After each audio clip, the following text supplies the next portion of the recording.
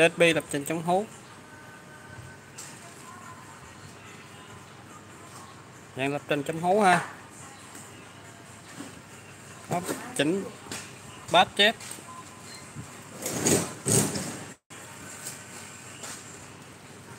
Cơ cái chỉnh bát bát chép ha bát chép này.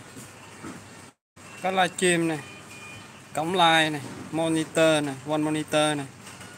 Thì đối với uh, cái uh, cái khối line này nó chỉ có một ngõ line thôi. Thì điện thoại mình đã bắt bluetooth rồi.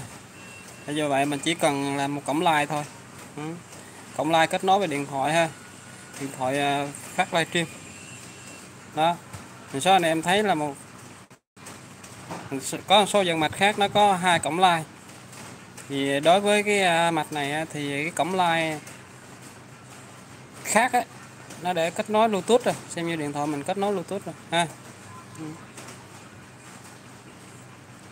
ok hay chỉnh tai nghe này ha, con chỉnh tai nghe này.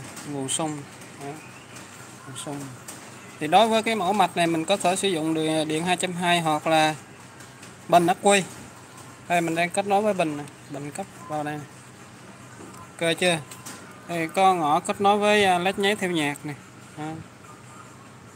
Thấy Ừ.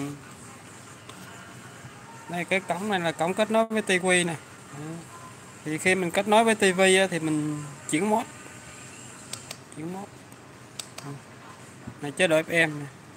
EUH á, là, là, là, là kết nối với uh, TV tivi đó, chế độ line-in đó. Mình có đèn báo dung lượng bình ắc quy nè ha. Ắc quy. Hoặc có thể là cái đèn tại đây đèn tại đây thì khi sạc và khi mà đầy thì nó chuyển trạng thái led ba chân này. Ha. À. thì đây là cái mẫu mạch à, chạy IC set 867B công suất 130W ừ. cho phép mình tải lo 3 tắc đơn hoặc 2,5 tắc đôi à. có bút áp lên nha bút áp lên à. con này nó chạy đến à, 30V ừ thì phải bút áp lên. Bình ắc quy bút áp lên. Đó. này, ngó ra lo nè. Ngó ra lo. Thì đối với cái mẫu mạch này cho phép, này ngõ ra lo này cho phép mình kết nối lo đơn lo đôi đều được hết, ha. Như sao mình kết nối cho nó phù hợp với công suất của mạch à, đúng trở kháng. Trở kháng từ 4 đến 8 thôi ừ. đó. IC công suất là giữ ờ, miếng nhôm tản nhiệt ha. Có tên là xe 867B. đây là dạng ờ, uh, DSP lập trình. Đó, DSP lập trình. Thì cái tiếng ca của nó là nó khác với cái dạng eco trước đây truyền thống thôi. Đó. thì ờ, tiếng ca nó sẽ mịn màng hơn mượt hơn. Đó. Thì khi cái anh em chỉnh cái eco này nè. Tối đa thì nó sẽ thiên vào eco. Đó mà chỉnh giảm về thì nó gần giống như tiếng reverb ha. À, có phần uh, mic bass mic chép cổng guitar điện này guitar điện chỉnh ờ, uh, von guitar đây này cổng micro. Cổng micro. Thì cái cổng này là không ờ, cần phải sử dụng ha. Đó. vì ở đây mình đang cắm bình ờ, cắm điện 220 thì vô nó sẽ sạc bình luôn. Đó. nếu không có bình thì sử dụng điện 220 ví dụ như sau này cái nguồn sông này nó bị trục trặc hay sau đó. Thì mình à, chỉ việc là sao? Mình sử dụng một cái nguồn adapter bên ngoài 100V đó. chỉ cần 20 là đủ sạc bình rồi. Đó. còn nếu mà để chạy điện trực tiếp thì 8 à, A đến 10 A đó. nên lý ha. Thì mấy chỗ này là nhiều anh em là không chưa có hiểu kỹ rõ này đó. chưa có hiểu kỹ rõ. Nên mình cũng nói thêm về cái cái cái phần này ha đó. Thì đối với phần micro là thường lắp sai nhiều nhất này đó. thì đối với à, cái mẫu mic bên mình thì mạch bên mình thì nó đã hiểu rồi cái việc cắm qua thôi. Đó.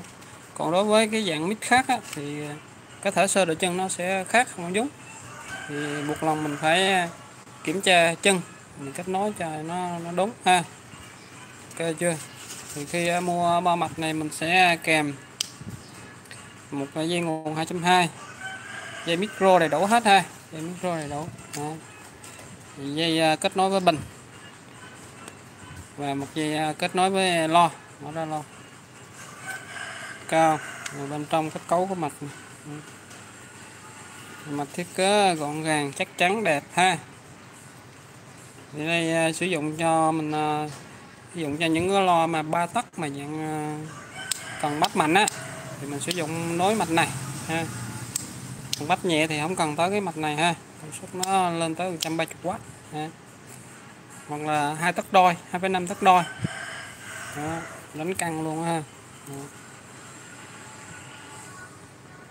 Ok, thì à, mình à, giới thiệu về cái mẫu mạch à, CS867B livestream DSP lập trình trong hố ha. Có mic bass chỉnh bass chất mic ha. Nguồn sông. Thì mình sẽ test trong video sau ha. nên là phần giới thiệu ờ, hướng dẫn thêm về cái ờ, cách kết nối chọn lo cho phù hợp. Ok, kết thúc video tại đây ha.